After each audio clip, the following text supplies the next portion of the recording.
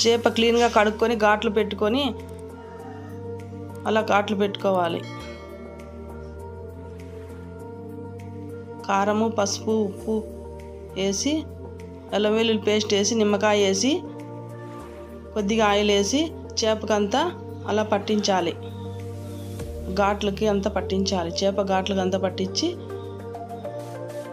ఒక పదహైదు నిమిషాల పాటు పక్కన కానీ ఫ్రిడ్జ్లో కానీ పెట్టుకోవాలి. గ్యాస్ మీద పెనం పెట్టి పెనం మీద కొద్దిగా ఆయిల్ వేసి చేపలు వేసి పైన కొద్దిగా ఆయిల్ వేసి ఫ్రై చేసుకోవాలి. అలా కాల్చుకుంటూ రెండు మూడు సార్లు కాల్చుకుంటూ ఫ్రై చేసుకోవాలి. సిమ్లో పెట్టుకొని ఫ్రై చేసుకోవాలి. ఇలా బాగా రోస్ట్ అయ్యాక ప్లేట్లోకి తీసుకొని నిమ్మకాయ పిండుకొని సర్వ్ చేసుకుంటే చాలా బాగుంటుంది. ఆహా అనక మానరు. సబ్స్క్రైబ్ చేసుకోవచ్చు కదా ఫ్రెండ్స్.